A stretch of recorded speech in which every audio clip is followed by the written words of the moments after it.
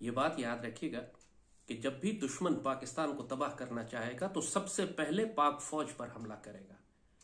पाक फौज पर दहशतगर्दों के ज़रिए भी हमला होगा और साइकोलॉजिकल ऑपरेशन और अबलागी जंग के ज़रिए पाक फौज को कौम की निगाहों में रुसवा भी किया जाएगा। 1971 के बाद 50 साल पूरी कौम को फौज के खिलाफ झूठे बयानियों पर तैयार किया गया। हम बड़े हो गए ये सुनते हुए कि मशरकी पाकिस्तान में तिरानवे हज़ार पाकिस्तानियों ने हथियार डाले फौजियों ने हथियार डाले थे। जबकि हकीकत ये थी कि उनकी तादाद तीस, चौंतीस हज़ार थी। इसी तरह पचास साल हो गए और आज तक ये प्रोपेगेंडा चलता है कि फौज पाकिस्तान का अस्सी फ़ीसद बजट खा जाती है। हर पाकिस्तानी ने यह सुना हुआ है। और हकीकत क्या है?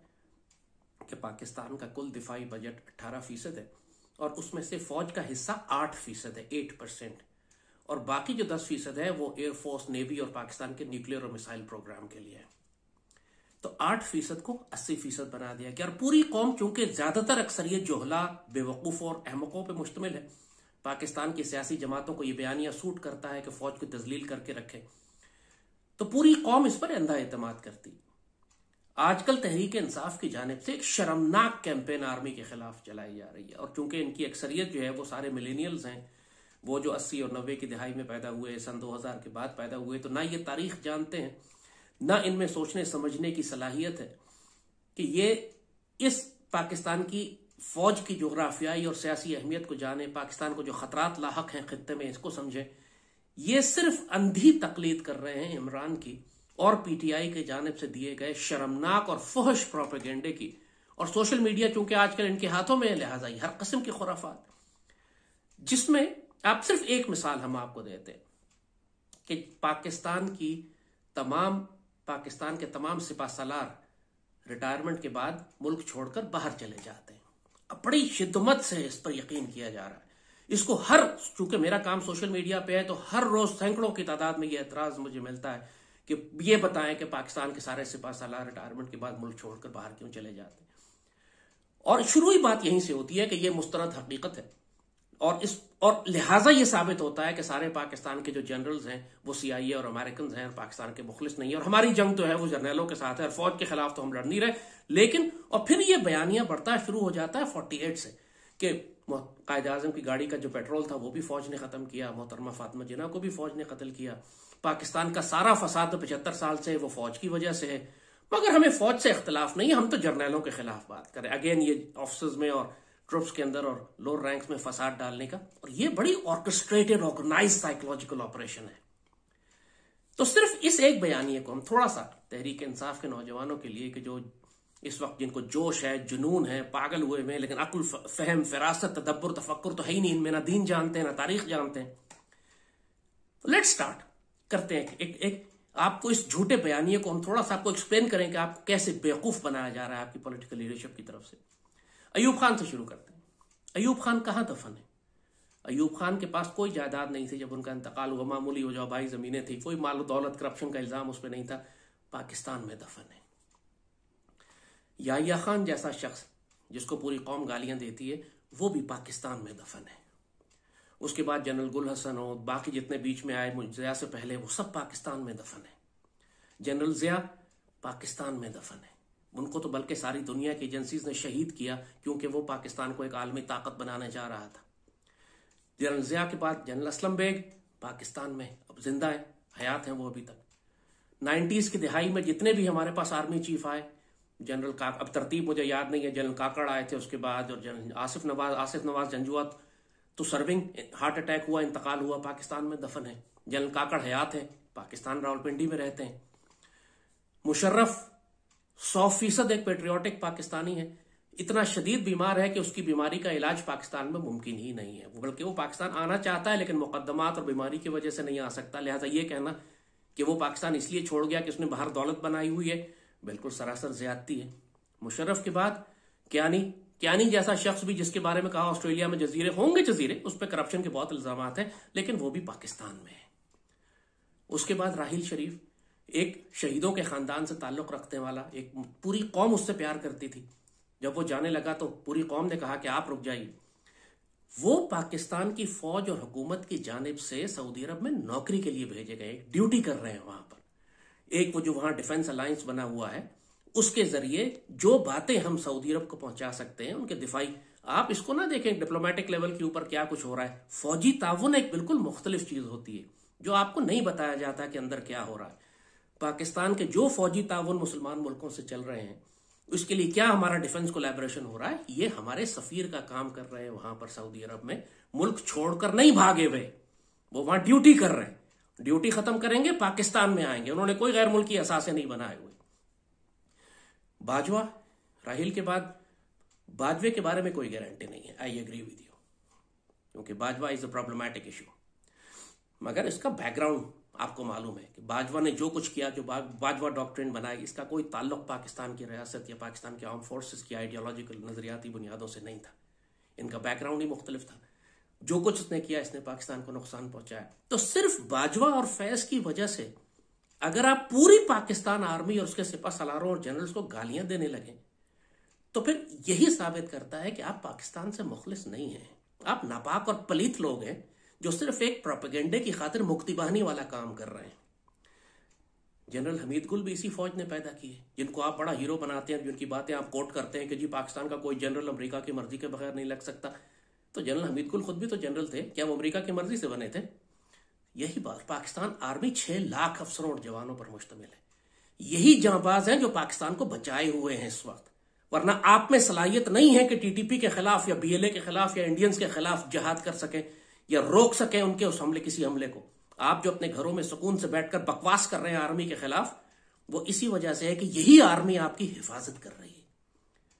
और अगर आपको सिर्फ़ बाजवा या फैज की पॉलिसी से इख्तलाफ है, या आपको जनरल आसिम की पॉलिसी समझ नहीं आ रही इस वक्त, क्योंकि आप कौन जहन है जहनी तौर पर माजूर हैं तो इसका मतलब यह नहीं है कि आप छह लाख की फौज को और उसके ऑफिसर्स को और सिपा सालारों को गालियाँ देना शुरू कर दें। लिहाजा सिर्फ़ यही बात आपको समझानी मकसूद थी इस वक्त।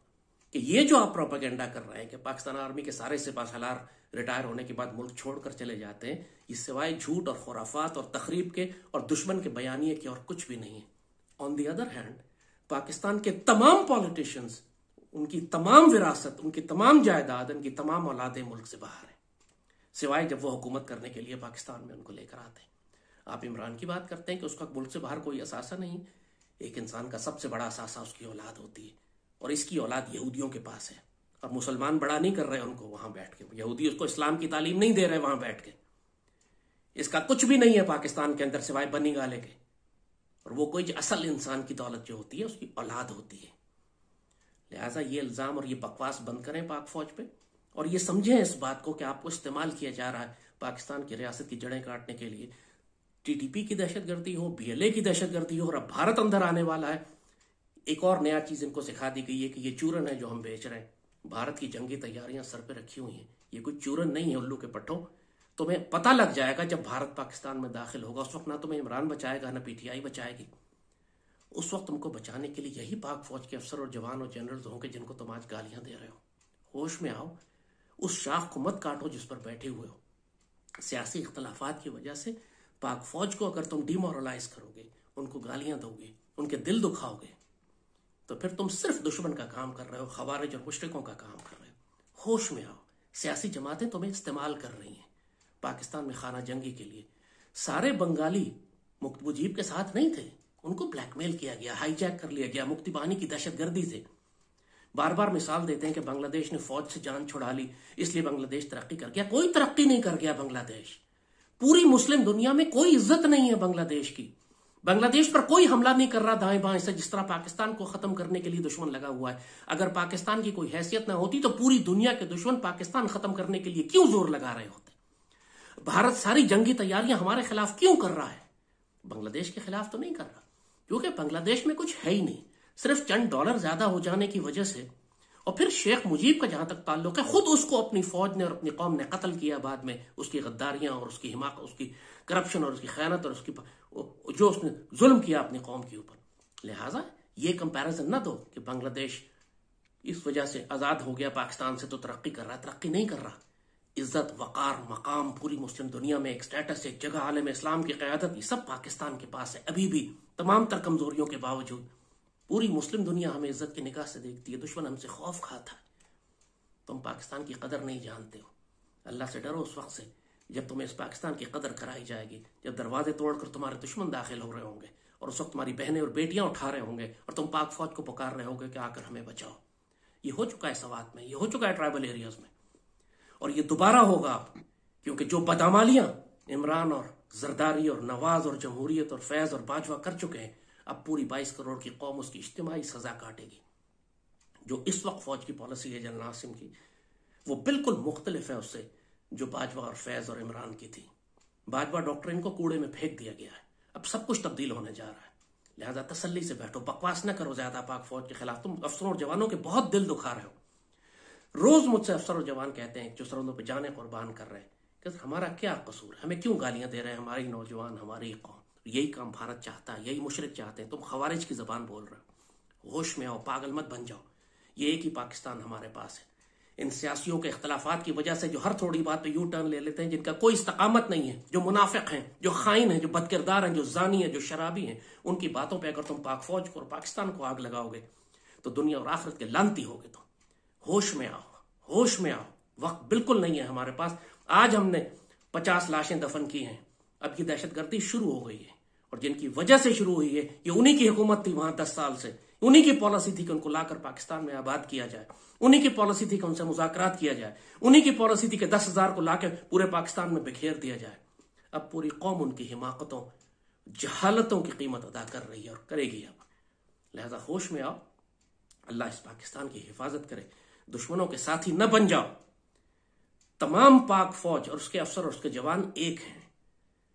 पाकिस्तान की हिफाजत कर रहे हैं। इनका होना तुम्हारी हिफाजत की जमानत है। एक दिन के लिए छुट्टी चले जाए ना, या हड़ताल पर चले जाए, तुम्हें लग पता जाएगा। अल्लाह से सारा पाकिस्तान की सारी अदालतें, सारी पार्लियामान सियासी जमातें दफन कर दो। पाकिस्तान को कोई फ़र्क नहीं पड़ेगा, बल्कि बेहतरी होगी। पाक फौज एक दिन के लिए छुट्टी पर चली जाए, तुम्हारी औरतें और बहनें खबारें उठा के ले जाएँगे। ऐसा न करो। हम बार बार नसीहत कर रहे हैं। पाक फौज के खिलाफ किसी प्रोपेगेंडे का हिस्सा न बनो। तुम नहीं जानते तुम कितना बड़ा नुकसान इस पाकिस्तान का कर रहे हो। अल्लाह पाकिस्तान का हामी हो नासिर हो। तुम सबको हिदायत, तुम सबको तुम्हारी आँखें खोले, तुम्हारे मोहरें जो लगी हुई आँखों, कानों और दिलों पर अल्लाह उन मोहरों को हटाए। तुम देखने के काबिल हो। फ़िलहाल तुम सिर्फ़ इस्तेमाल हो रहे हो। अल्लाह पाकिस्तान की हिफाजत फरमाए, पाकिस्तान जिंदाबाद।